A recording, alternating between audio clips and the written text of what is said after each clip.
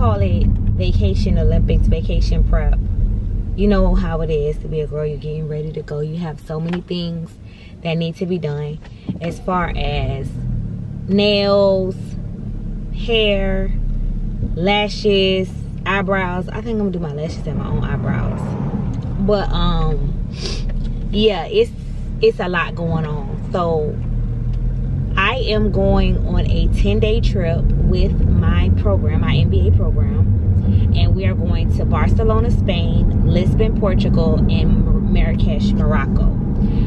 So I want to take you guys along on the trip. I'm going to show a little bit of the vacation prep, I guess, you know, getting my hair done and leading up to it. And then I believe this this will be a three-part series where I'm in Barcelona, then Lisbon, and then Morocco. And I'll take you along for those for those particular trips. I'll split it up probably in three parts. So I'm heading to go get my hair done. My hair is in four plaits. Um, I wash and blow dry my hair. I'm going to get a sew in. I know most people would, would be like, dang, why don't you get um why don't you get braids but i i'm gonna be transparent with you i'm trying to grow back my edges and the braids like my hair is naturally like um finer like just naturally. So having the braids on my hair and just the tugging especially on the edges it's just not really that healthy.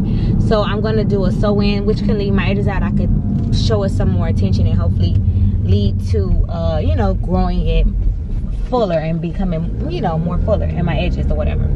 So anyway so that's that. So that's why i'm getting a sew in okay so i'm back. Sorry about that um so yeah the program is really cool because um like i said i go to florida international. And um of course being that international is their name they offer give the opportunity to study abroad. But because my program is a fast tracked program i um we we get we don't go for a full semester. We go for uh 10 days. So again i'm going to um barcelona spain lisbon portugal and um, marrakesh morocco and all and then and in all three of those destinations we visit healthcare centers. So we're supposed to go to the world health organization. We're also supposed to do um, i believe it's like astrazeneca and some big some other big pharma places healthcare startups we're going to visit hospitals clinics so we get to see healthcare outside of the u.s and how it's managed um, as a portion of our program. So i think that that is so cool which is why i opted to do it because number one i love to travel and number two like i love a trip where i just got to show up. And number three um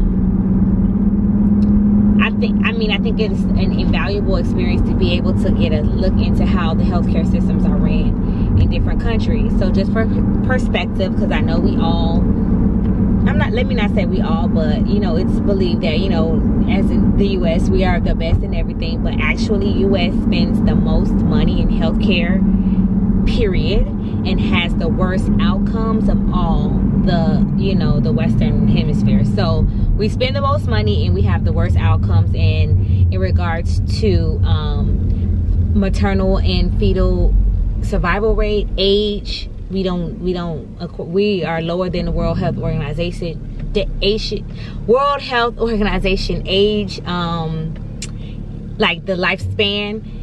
And so yeah so and, and in regards to spain i believe spain is like number seven out of like number seven. We're we rank 35 us is 35 spain is seven and i think like um portugal is like 17 or something like that 12 or 17 i can't remember but in the teens. So we're like i said in the western hemisphere we have the worst outcomes and we spend the most money on healthcare. So put that one in your pipe and smoke it. So it's going to be very interesting to see how this is how this trip is going to play out.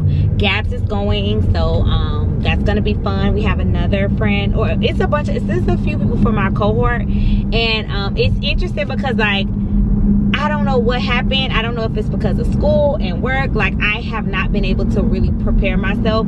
So I feel like my outfits aren't there like I want them to be because you know I be wanting to be fly. So that's why I didn't do a haul. But you know, we'll see. We just gonna make it do what it do because I'm trying to not over consume too. I'm trying to get rid of a lot of stuff. So I'm just in like this different type of place trying to just have a finding a nice equilibrium of being myself, like dressing and all that stuff, but not over consuming because I feel like I'd be over consuming. So, anyways, I'm gonna take you to go get my hair done. Um, yeah, see y'all soon. Sorry, y'all, I forgot to record, but this is the finished look. She slayed as per usual, like, but I do feel okay. Like I needed a little bit more hair. Like it ain't. It's kind of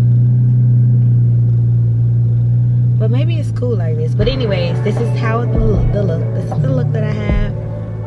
So we headed to Barcelona. Right, we're outside. Hey, Gabs. Hey, Marsha. Hi. This is our cohort. Wait. Ah! we are headed to Barcelona. First leg of our trip. I feel like in the street. Won't let no one come and take your place. 'Cause love you give can't be replaced. There's no one else. Let me let you do. That's why I don't mind. Spend my life with you. Won't please you any way I can. I won't share my world. Don't you understand?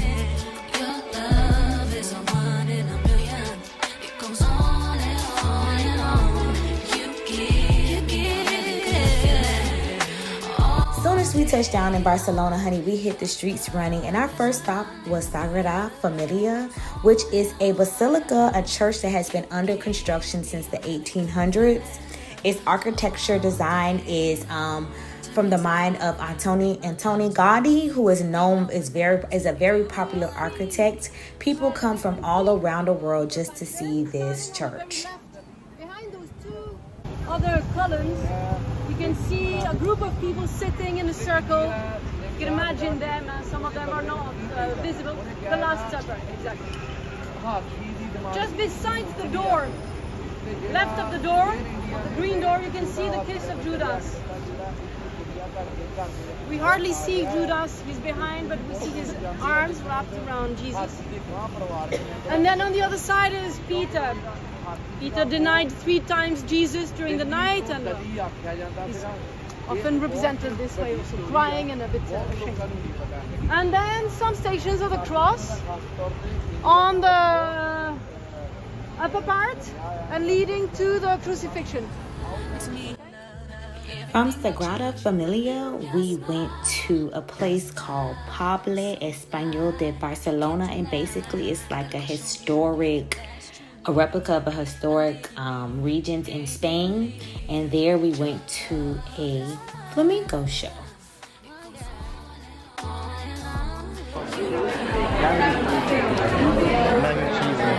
Hey Christian, hey guys, y'all having fun? Enjoying Barcelona?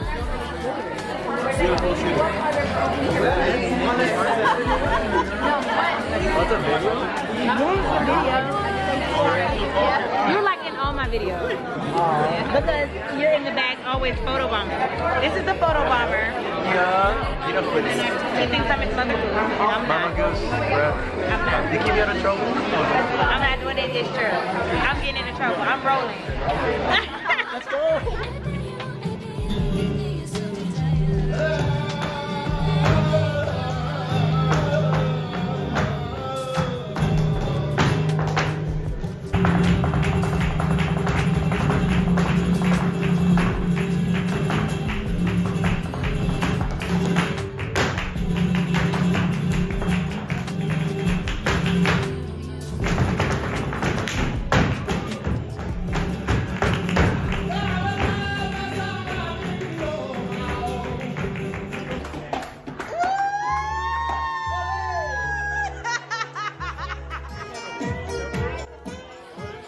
course, we wouldn't be the cool kids if we didn't hang out in Barcelona to see what the nightlife has to offer.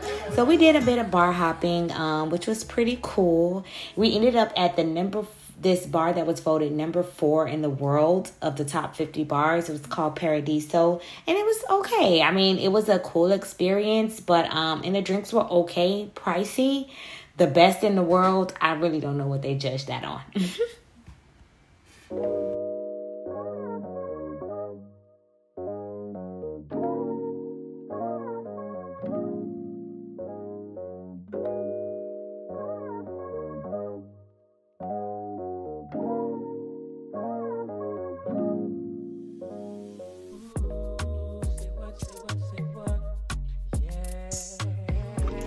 Hey guys, get ready with us to go on a hungover hike with the star of the show. Ow. Okay, guys, so we headed to Montserrat on day two, and it was a beautiful hike. And also, what's interesting about this place, and it has a church or cathedral that hosts or holds a statue of a ancient black Madonna and a black baby Jesus, which was so so so interesting to me. And people come from all over the world to see these statues.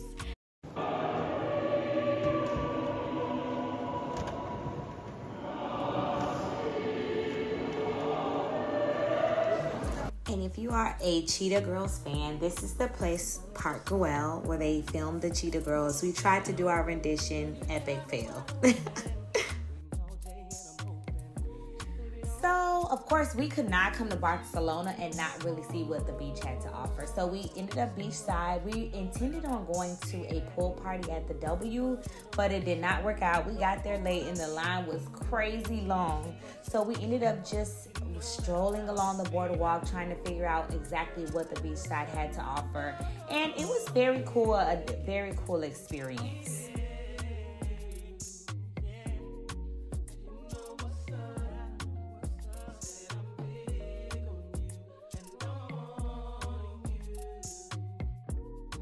Hey Marsha. Marsha, Marsha, Marsha. Do you like when people do that or is that annoying? No, I love it because guess what? What? You'll never forget my name. Marsha, Marsha, Marsha.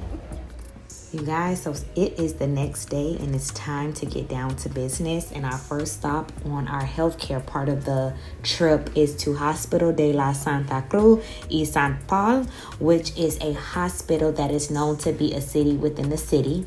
This hospital was built up in the 1400s and was in commission until about maybe um i think it was definitely in the 2000s like prior a little bit before the pandemic was when they made its full transition to the new hospital.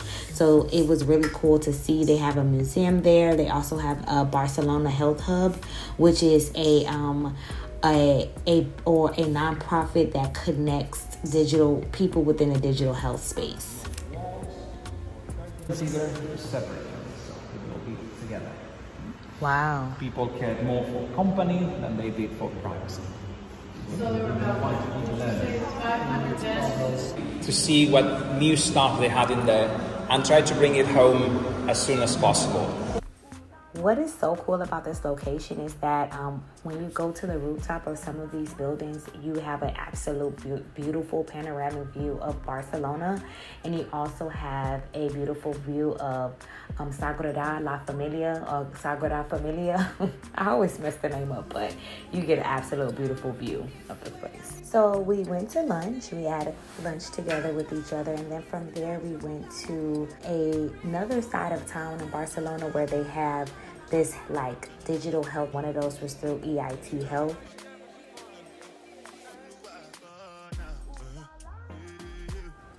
Can you even come to Europe without shopping? Like, we were on our way to Zara and we found this beautiful market. And oh my gosh, this fruit and all the produce and the meats there look so fresh. And let me tell you one thing about Barcelona those olives hit 10. I have not had a better olive than the olives that I've had in Barcelona. Amazing olives, for real. If you know, you know that night we all decided to have dinner. You guys, it was a really good bunch of people because we always wanted to eat dinner or at least a meal together in every city multiple times. So, um, one of the uh, young ladies recommended this place, and I'm gonna tell you the food was mid. I'm not gonna lie. I'm not gonna hold you. Sorry, girl, but the food was like maybe like a five out of ten or a six out of ten, and um, the service was trash. But it was good to commune with our people in our um, on our trip with us. So yeah. One thing about Barcelona is they have the views. Like all over the city, from different rooftops, you can catch a wonderful view. We did get to visit Braun, but we were not able to record. So sorry, guys. But after that, we went to this village that was near Braun's factory. It was a beautiful restaurant. Of course, as you can see, football is a major thing, aka soccer. So it was really cool to be in a local restaurant, eat some local food, and just enjoy the scenery. Okay, hey guys. So I have not had a chance to really get on here and talk because we've been moving so fast. But I just arrived in Lisbon from Barcelona. We had a totally full day, but I wanted to get on here and um, kind of close out the Barcelona vlog. So Barcelona, I really, really enjoyed. I enjoyed Barcelona. It's a tad bit different. Um, it's European Barcelona does not sleep. It's like a New York, but different. Um, I feel like Barcelona is a place you can go. Nobody's really concerned about you and what you do. Um, there's good shopping there, and you can just live your life. But there are like kind of like microaggressive small microaggressions that you can face as like a dark a black person in Barcelona I feel like because baby we could not get a taxi in Barcelona like every time when I was with a bunch of black people we couldn't get a taxi but like if we would have our Spanish classmates or like a Spanish door person um hail us a taxi they we got a taxi so I don't know what's that about but Barcelona is cool um I mean I definitely recommend going see it going to see it uh, what did I enjoy the most about Barcelona? What I like the most about it? Their Zara was really good. That's what I like the most. Like I like Zara. Um, the thing I like least about it, it's a lot of walking. I mean, a lot of walking. If you can't walk a lot, Barcelona might not be tea. I like Montserrat. I like visiting that. That was beautiful. So it's like cool things you can do there, but it's like is it a place that I'm like, oh my gosh, I have to absolutely, absolutely move to Barcelona? The answer would be no, but I'd visit. So I hope this vlog was very interesting and helpful. Drop me a comment, like, comment, subscribe. You already know the tea, but most of all, I love you. But Jesus, he loves you so much more. God bless you.